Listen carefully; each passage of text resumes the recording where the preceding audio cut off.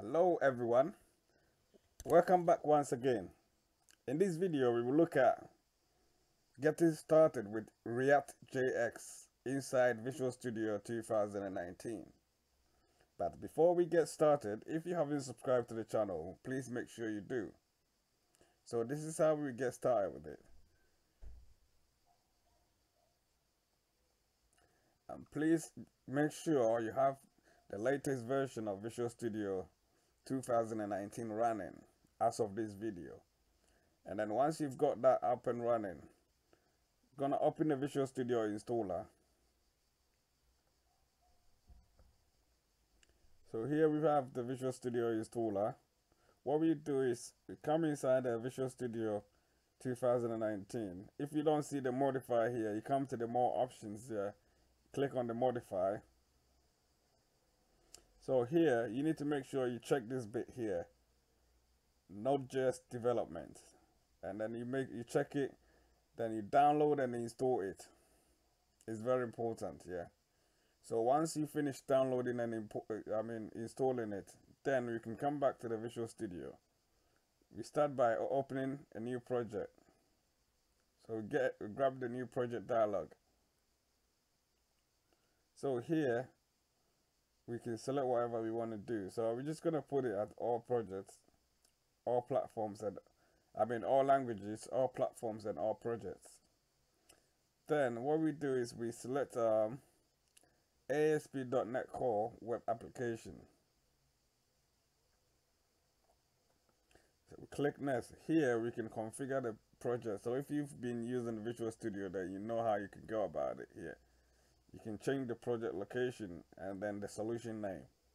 So once you've done with that then you can click on the create.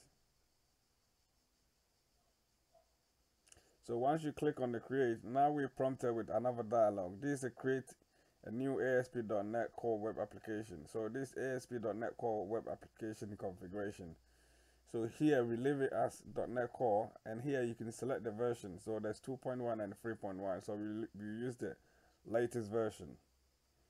And then here you can configure the application to use HTTPS or just uncheck it just to use the normal HTTP. That's what we would do. So once you scroll up here, so as you can see, you can we have multiple applications that you can get started with. So in this case, this is what we we we're going to use this React.js or React.js template. So now we can click on the create. So wait for a little bit for the whole for the whole thing to run. So while it, while it's the whole thing is getting set up, I'll briefly describe what a React um, JS is. So React is a declarative efficient and flexible JavaScript library for building user interfaces. It lets you compose complex UIs from small and isolated pieces of code called components. So React has a few different kinds of components. So we have a look at them in this video or later on this video. So as you can see now we have the application created.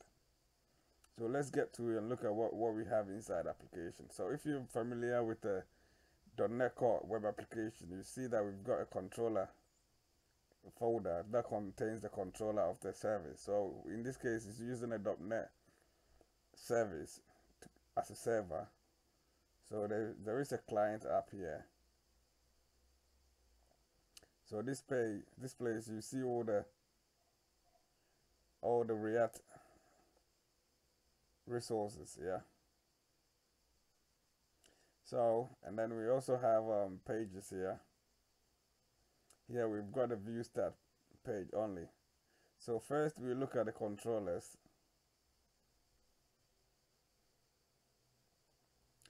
So as, as you can see uh, this is just a weather forecast controller. So in this case it's displaying the weather weather prediction or the forecast in a certain range. So this is, as you can see, this is just a template to render some data for the for the UI test.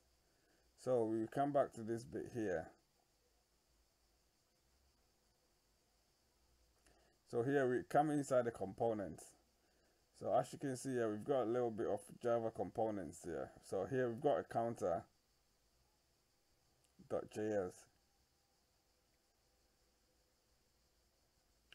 so this is just a very simple counter components that let that add one. Anytime you click on the on the button on the button. So as you can see here it's actually uh, uh, adds one to the current state. So in this case we're just gonna make it two. So once we run it we see we see it differently. So we're just gonna add two whenever we click on this on the click on this button. And then there's a fetch data. So as you can see uh, as I showed you here on the controller it's only just sending out weather information.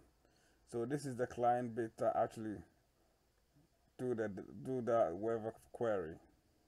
So as you can see once once the data is returned it's actually it's looped inside this inside this bit here. So this is some few bits that I'm going to show you for now. So you can look you can have a look diligently on your own. So in this bit I'm just going to change the browser. I'm just going to make the browser Chrome. So which is it's, it's already Chrome anyway so. So what I'm going to do is just going to run it to see what actually comes out of it. So I'm just going to F5 so before you actually run it, you need to make sure you've got the Node.js downloaded and installed. So as you can see, yeah, here is restoring dependencies using npm. So it might take a few minutes, so I'm I'm actually pausing it for for this bit to actually finish. So as you can see now, we've got um we've got the the React.js application running now, the web application running now. So as you can see this is the template from the Visual Studio 2019 so we have a look here. So here once here we, see the counter that I actually showed you. So in this case once we click on this bit here we have an an increment of 2 so that's the way it should be. So as you can see we've got two increments yeah? It's because I actually changed I actually changed this bit to 2 that's why we're getting an increment of 2.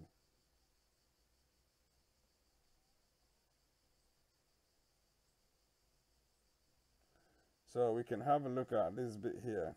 So, so as you can see, so we've got a random weather forecast data generated. So this is actually coming from this bit here. So this, in this case, is actually getting, you see, the, is generating some random data range from up to five. Yeah. So actually we also come to this bit here to fetch data. We scroll down here, so this is actually performing the fetch data um, JSON request and then once that is that bit is done it's actually rendered inside here. So this bit here is just it's just uh, the loop that actually puts the data inside the, I mean in a table format. Just like this bit here. So in a in a table format like this bit here. So that's what is actually happening there. So as you can see, it's, um, it's very, very easier to actually get started. So, so I will leave you from here just for you to explore, um, explore it or explore this template further and make changes yourself just to understand the code base. Yeah. So before I log, I log off.